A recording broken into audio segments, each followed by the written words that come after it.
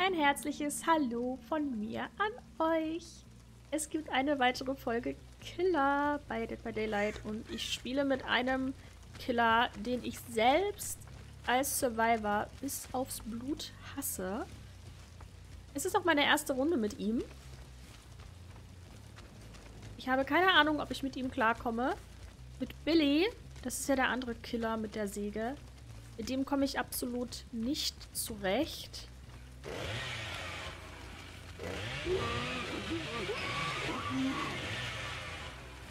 Also ich muss sagen, ich habe vorher geguckt, was die, ähm, wie viele Spielstunden die Leute hier haben. Manchmal kann man das ja sehen. Und die schienen alle eigentlich nicht so viele Spielstunden gehabt zu haben, aber sie hat es direkt geschafft, mich zu blenden. Respekt.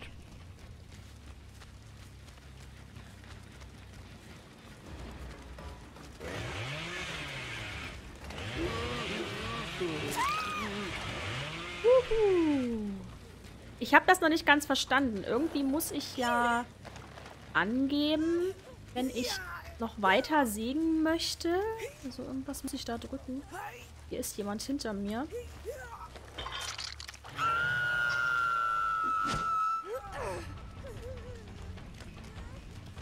Wir spielen auf jeden Fall zusammen. Na los, zieh.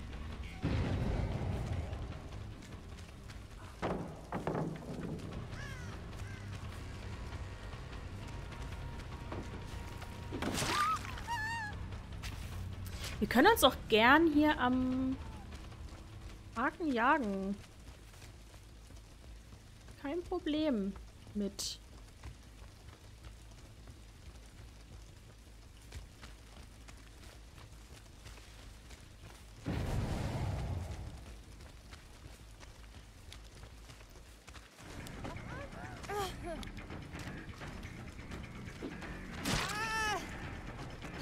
Ich hätte vielleicht Franklins mitnehmen sollen. Die mit der Taschenlampe ist schon... Ist ich kann sagen, ist jetzt seine Taschenlampe alle? Oder... Oder wie?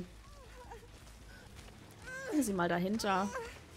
Und dann gucke ich mit Barbecue, ob ich jemanden sehe. Ich weiß gar nicht, haben die, Ru die Ruine ist noch da?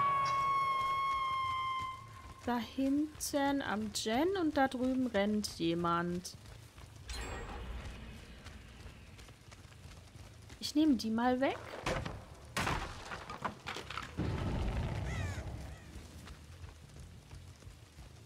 Ist sie selber runtergesprungen?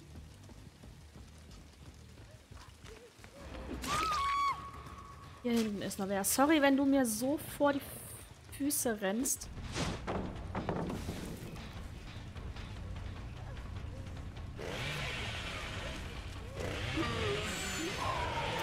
Machen wir mal eine entspannte Runde. Ja, Boba ist gut. Ich habe doch hier was mit. Oh, da können die anderen nicht mehr aufheben.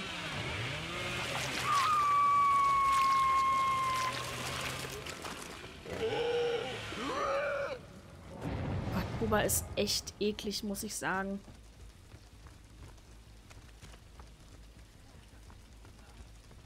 Der war auf jeden Fall noch in der Nähe. Hier sind auch Kratzspuren.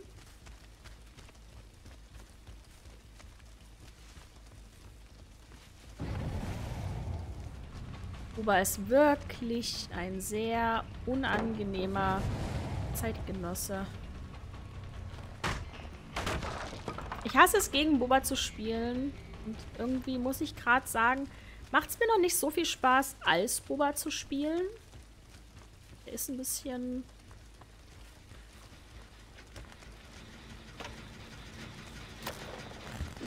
Was war das? Habt ihr das gesehen? Die Animation fing an, dass ich sie vom Generator weggreife.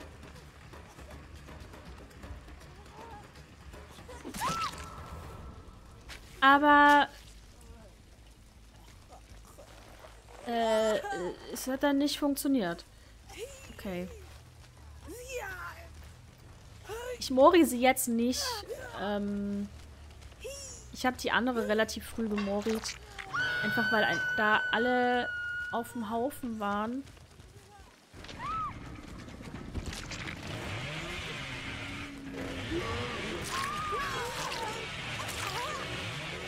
Also wenn... Wenn Bubba sich versägt, muss ich ganz ehrlich sagen, es dauert ja eine Ewigkeit, bis der fertig ist mit seiner Wut oder was der dann hat, weil er sich versägt hat. Könnte man viel Zeit sparen.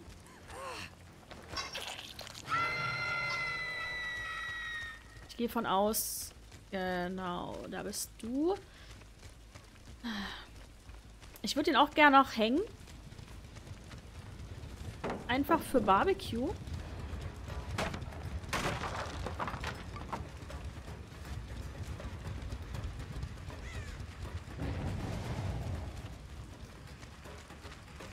Er rennt durch die Bäume. Er macht es ganz geschickt. Ich muss sagen, ich, ich muss gleich mal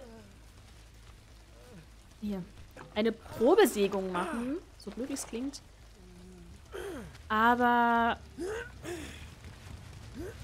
ich muss mal gucken, wie das geht, wie ich das mit dem Sägen verlängern kann. Ich muss da irgendeine Taste drücken. Soweit ich weiß.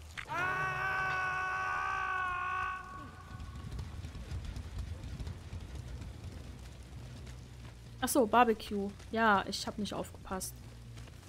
Ja, Ruin ist immer noch da. So, ich guck mal kurz. Kettensäge verwenden. Ah, okay. Ich muss dann einfach nochmal M2 drücken. Dann wird dieser Kettensägen-Sprint verlängert. Draußen ist jemand lang. Oder?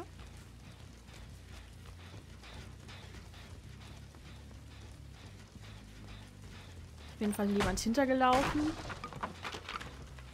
Oh, Adam. Warum ist Adam unheilbar gerade?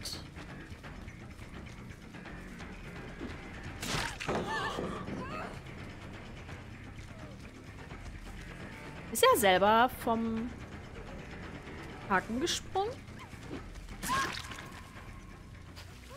So, sie hing erst einmal. Deswegen hänge ich sie mal nochmal auf.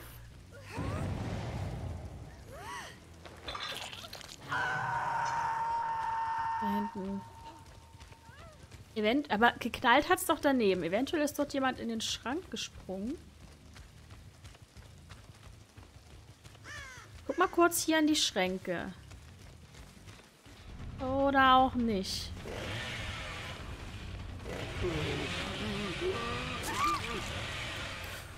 Okay, sie muss sich jetzt aber morin, weil sie hing zweimal. Also was heißt ich muss?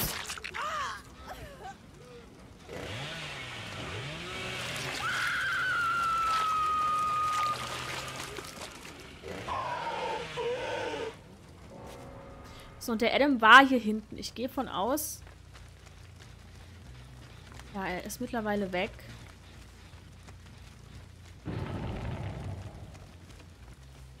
Also Klödi muss ich Morin.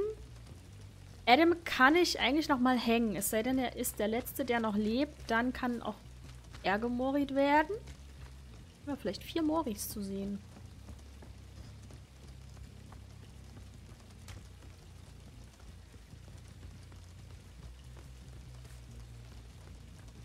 Ja, mal hier die Palette kaputt.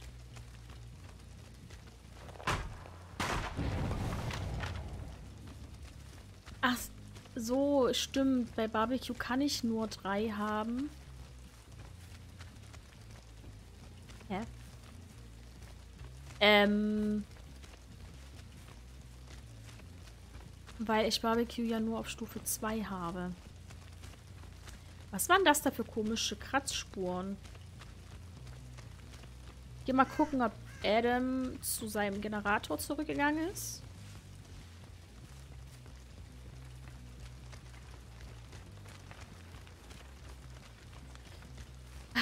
Also eigentlich muss ich sagen, ist das Ruintotem jetzt nicht so versteckt. Ich muss sagen, Ruin rettet mir hier, glaube ich, wirklich die Runde. Hätten die Gens sonst durch, denke ich.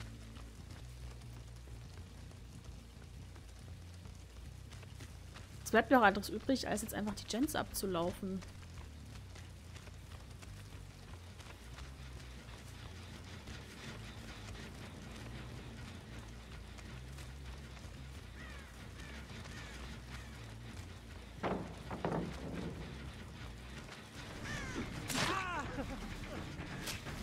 Dass ich ins Holz geguckt habe.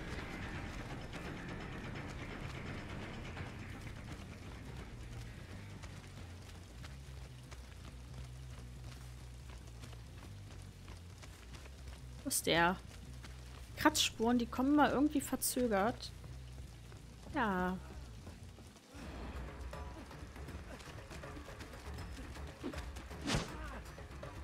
Glück gehabt.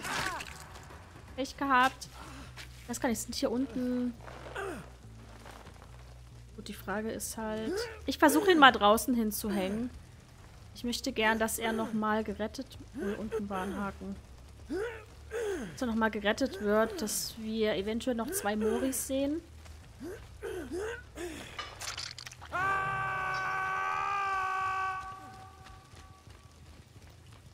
Ich weiß gar nicht, wo ist sie denn?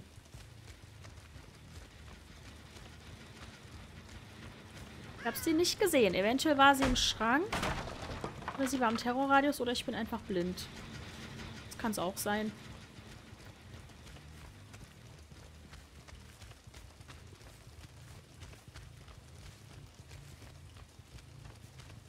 Sie kann halt auch noch nicht nach der Luke suchen.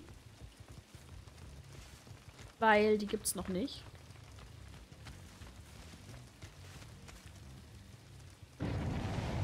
Gut.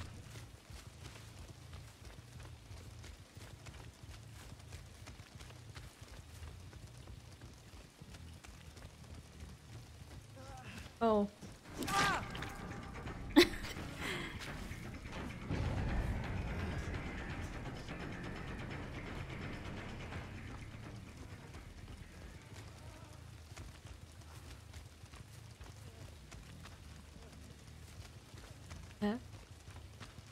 Hat sie hier nicht gerade...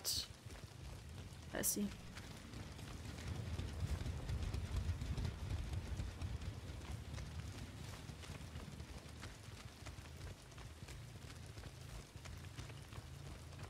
Wir müssen uns merken, wo Adam liegt.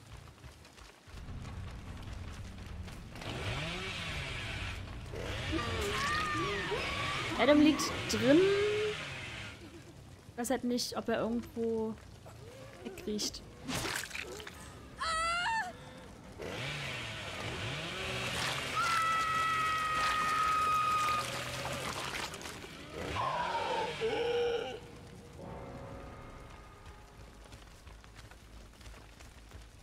Und da ich gemorit habe, sehe ich das auch nicht. Wo er liegt. Wenn ich sie aufgehangen hätte, vielleicht hätte ich sie aufhängen sollen.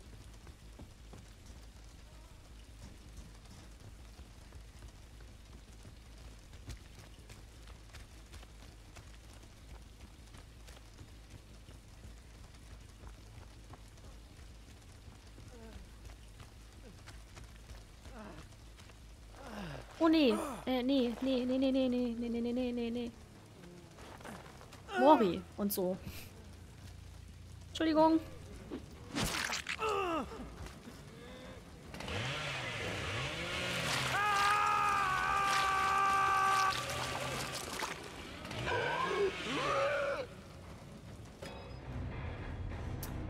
Ja. Gut. Ah, das eigentlich war das auch böse mit den Moris. Und die hatten eigentlich nicht wirklich eine Chance, da Ruin die ganze Zeit auch da war.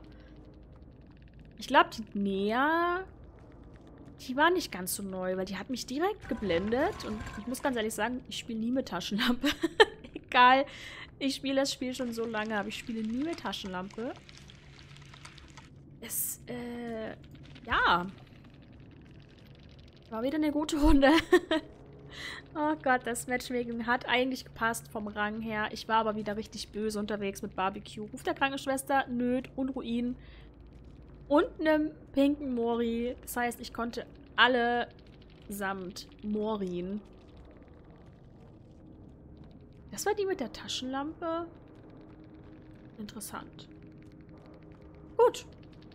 Eine Runde Bubba. Und zwar meine erste Runde Bubba. Irgendwie finde ich das gerade ganz cool. Das letzte Mal habe ich die allererste Runde mit der Seuche gespielt und euch gezeigt. Jetzt die allererste Runde mit dem Bubba gespielt und euch gezeigt. Ich komme gerade wieder auf den Geschmack. Killer spielen macht tatsächlich Spaß. Und wenn ihr auch Spaß dran habt, Killer-Folgen von mir zu sehen, dann lasst es mich gerne wissen. Ich freue mich auf euer Feedback. Egal wie dieses Feedback aussehen mag, solange es konstruktiv ist, habe ich auch kein Problem mit Kritik. Ähm, ja, ich sage aber jetzt an dieser Stelle, macht's gut und wir sehen uns beim nächsten Video. Ich freue mich auf euch und bleibt gesund. Bis dahin.